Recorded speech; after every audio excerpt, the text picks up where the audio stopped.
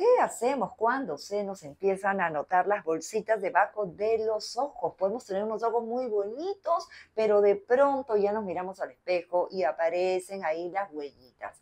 Esa pregunta es para el experto, por supuesto, nuestro querido doctor Alberto Calvo Quiroz, que siempre está con nosotros y por supuesto está siempre en TikTok, en todas las redes sociales, ustedes ya lo recontra siguen, pero lo tenemos ahorita para nosotros. Ay, gracias, gracias. ¿Cómo está, doctor? ahí, ahí voy poniendo consejos en TikTok, en YouTube, en Instagram, siempre para tratar de explicar qué son las cirugías y si me va a ir bien o mal. Siempre hay que pensar en eso. Exactamente, y gracias por, por, esa valiosa información, doctor Calvo. ¿Y qué hacemos con esas bolsitas en los ojos a cierta edad? Sí, siempre se presentan en general a partir de los 30 años, ya se empiezan a notar, 30, 35, y vamos haciéndonos más mayores y se notan más. ¿Qué son las bolsitas de los ojos? Son unas bolsitas de grasa. Son unas bolsitas de grasa donde está apoyado el ojo. El ojo está en un colchoncito de grasa y esa grasa con el peso del ojo y con los años y con que vamos engordando esas bolsitas son de grasa, empiezan a salir. A ciertas horas del día se notan más que otras porque la grasa es hidrofílica, jala agua de nuestro cuerpo. Entonces cuando jala agua nos levantamos y nos vemos ojerosos o no dormimos bien y estamos ojerosos. ¿Por qué? Porque tienen más agua y otras horas del día, uy, me pasó, me pasó otras horas del día porque ya bajó el agua. Claro. Pero después vuelve otra vez. El único modo, eso sí es importante, es cuando ya se notan bastante hay que hacer cirugía. La cirugía hay, en realidad ya hay varios tipos, hay varias maneras de hacerlo. Hay una manera que se llama transconjuntival, por adentro, sin corte afuera, sin corte afuera.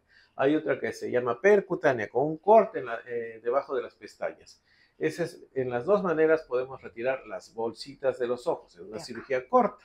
Eso, eso durará una hora. Generalmente lo hacemos con sedación, el anestesia lo duele un poquito y luego ponemos anestesia local y podemos retirar las bolsitas. Y cuando ya no, no tenemos 30 ni 40, si no tenemos 50, entonces ya también sacamos un poquito de piel. O si el paciente me dice, no, doctor, yo no quiero ni una, ni una cicatriz, entonces lo que hacemos es usamos el láser y el láser tensa la piel.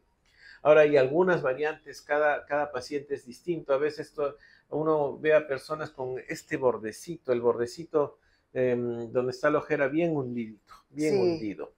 Eh, se ve el huesito hundido. En, esos casos, cuando está muy hundido, ya hay que hacer otro tipo de, cirugía, porque vienen pacientes conmigo, doctor, me, me, fui a operar las bolsas de los ojos y miren, más bien se me ve más hundido. Oh. Entonces, en esos casos no se hace eso, no se retira la bolsa de los ojos, sino lo que se hace es una variante. Se cambian de lugar las bolsas y usamos la bolsa para tapar ese huequito. ¿En serio?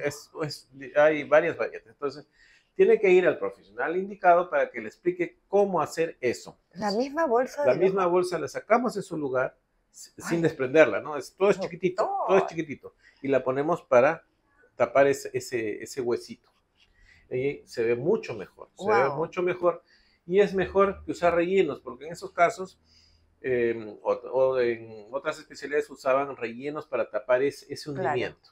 Pero los rellenos duran un año y el ácido hialurónico ya vimos que... Permanente. sí, eso en cambio, cuando usamos la misma bolsa para rellenar eso, se hace más permanente. Doctor Calvo, técnicamente hablando, ¿cómo se llama esta cirugía? Hay varios, eh, bueno, en general se llama blefaroplastia inferior. Inferior. La blefaroplastia inferior, cuando no tiene cicatriz por afuera, sino por adentro, se llama transconjuntival. Perfecto. Cuando, cuando tiene cicatriz por afuera, se llama percutánea. Y cuando, se, y cuando hacemos esa, ese cambio de las bolsitas, las sacamos de un lado para otro, se llama transposición de bolsas grasas. Pero sigue siendo blefaroplastia. Todas son blefaroplastías, sino que tiene muchas variantes. Todos no somos iguales, cada paciente es distinto y necesita una forma de operación distinta. Claro, y también se puede realizar, digamos que en, al mismo tiempo la superior. Sí, hacemos a veces superior inferior a la vez, o a veces solo inferior, o a veces solo superior.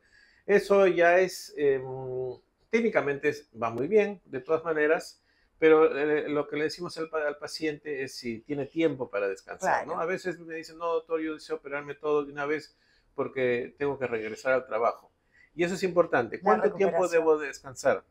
Después de esta cirugía, ocho días. Ocho. Ocho días. No es necesario estar en cama, pero sí los ojitos son sensibles y uno se pone moradito, esa zona morada. Y si lo que hemos hecho es con láser, se pone negro hasta que se pela, pasa ocho días. Perfecto, doctor Calvo. ¿Recomendación final? La recomendación final es que esta, como todas las otras cirugías de cirugía plástica, las debe ser un cirujano plástico experimentado, no solo cirujano plástico, cirujano plástico experimentado.